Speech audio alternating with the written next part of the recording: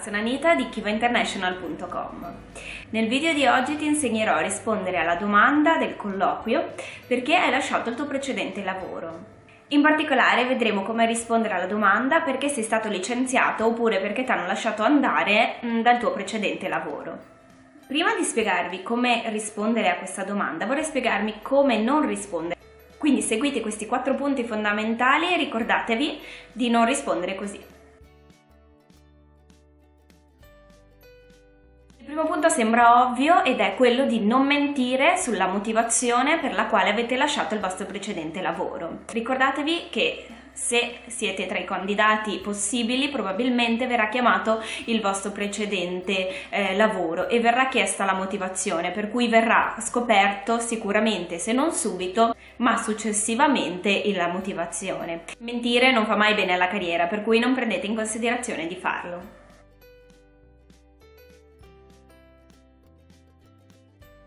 Il punto numero due è molto importante, quindi non parlate male assolutamente del vostro precedente ehm, datore di lavoro. Non fatelo mai in quanto verrete etichettati come una persona mm, negativa e una persona che porta rancore. Quindi ricordatevi di rispondere in maniera neutra e concisa, ma soprattutto in maniera molto positiva su quelle che sono le ragioni per la quale non lavorate più presso quella data azienda.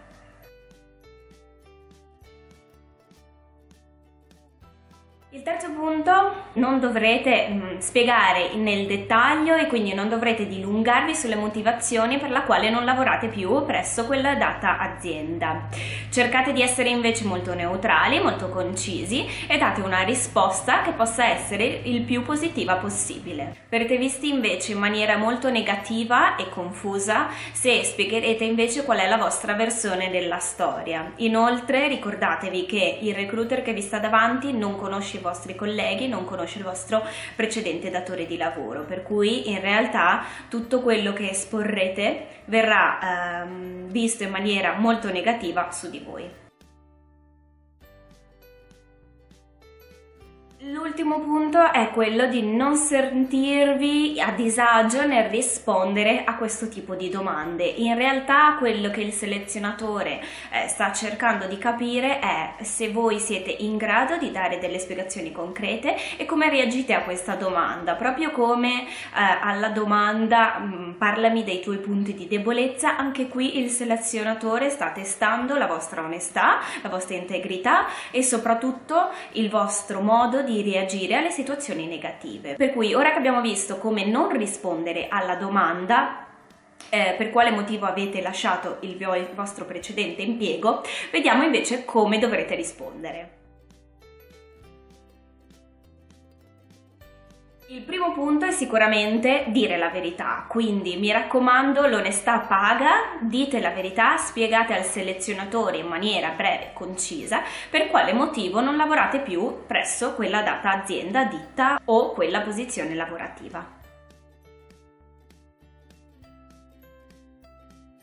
Il punto numero due, mi raccomando, non dovrete scrivere un libro oppure raccontare al selezionatore per filo e per segno tutto quello che è successo eh, nella vostra precedente azienda. Siate invece brevi, concisi e raccontate una storia positiva. L'ultimo punto è quello di utilizzare questa domanda per ricordare al selezionatore per quale motivo voi siete il perfect match per quel tipo di lavoro. Quindi utilizzate la domanda che vi viene fatta spiegando le motivazioni per la quale non lavorate più eh, presso quella data azienda per ricollegarvi alle motivazioni per la quale invece per questa azienda sareste un candidato ideale.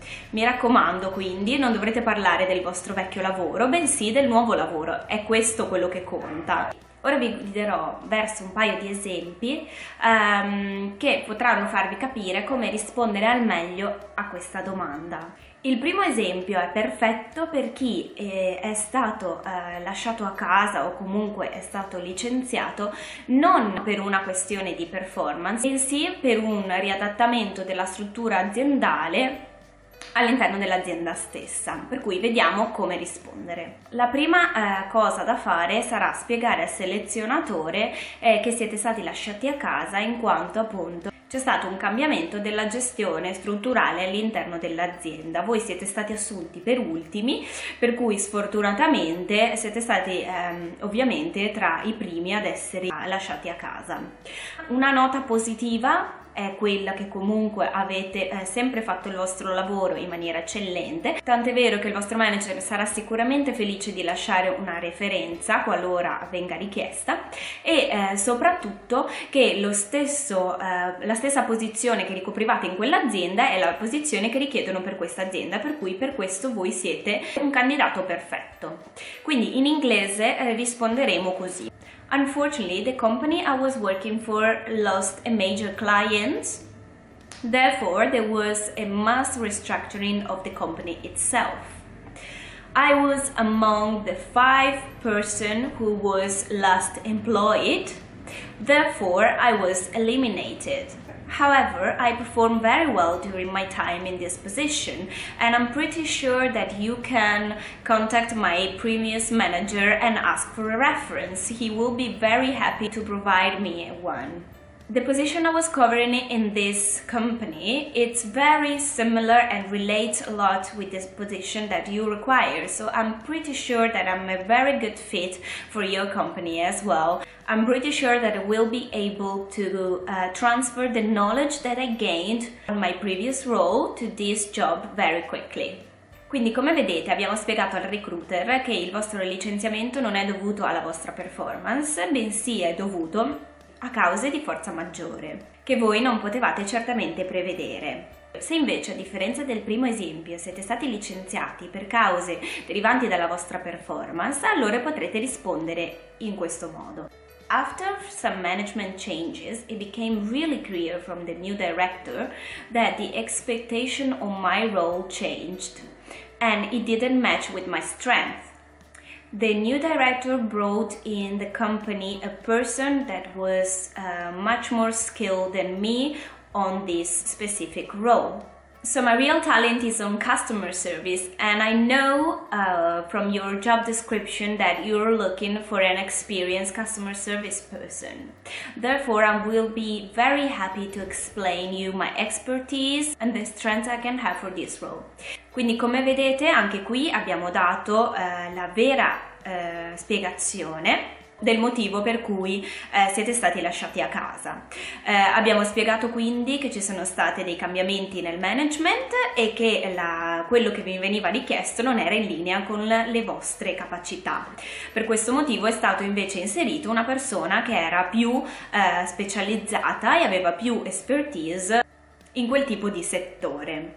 Anche qui dovrete quindi eh, utilizzare questa domanda per proporre invece quali sono le vostre expertise, quali sono le vostre strengths, quali sono eh, i vostri punti di forza invece. Quindi abbiamo fatto riferimento al fatto che voi siete più forti, siete più abili, più bravi e più esperti per, sul customer service, il tipo di lavoro che vi viene richiesto da questa azienda per cui state facendo il colloquio è proprio il customer service, quindi voi dovete mostrarvi desiderosi di spiegare spiegare le motivazioni e, eh, le, eh, fo- e la forza che avete su questo tipo di settore. Ora avete tutti i punti su cosa non fare, cosa fare e anche alcuni esempi di come rispondere a questa domanda in inglese. Quindi mi raccomando, seguite questi punti e eh, cercate appunto di essere positivi e di non rispondere mai in maniera negativa e soprattutto di non buttarvi giù durante questa domanda. Iscrivetevi qui sotto e lasciate un pollice in su se vi è piaciuto il video, condividetelo con gli amici e mi raccomando rimanete eh, qui con noi perché ci saranno moltissimi altri video durante questo mese e anche nei prossimi mesi, riguardanti sempre il colloquio di lavoro, il curriculum, la cover letter e molti altri argomenti. Ciao!